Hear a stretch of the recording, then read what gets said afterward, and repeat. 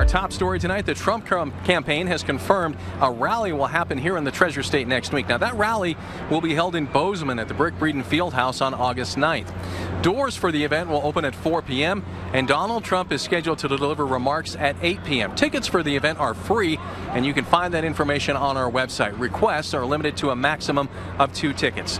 MTN's Jonathan Ambarian was out in the capital city talking to Montanans about Trump's previous visits and what they think about him coming back.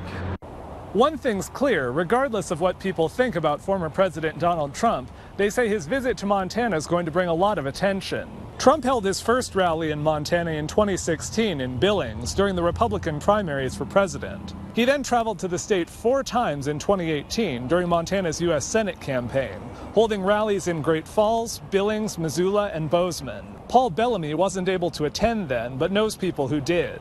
Drew a lot of people, and uh, they were pretty uh, upfront about it. Yeah. They thought it was a pretty good thing. He says he likes Trump's business experience and hopes he'll have a localized message at the event. I don't think he needs to boast on his record as much as he does.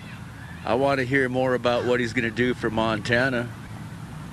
And uh, I believe that uh, a rural state like we have, we get forgotten about a lot, especially back east. The Trump campaign made tickets for the rally available Thursday. Joan Hobine says she would love to attend, but she's dealing with family health problems at the moment.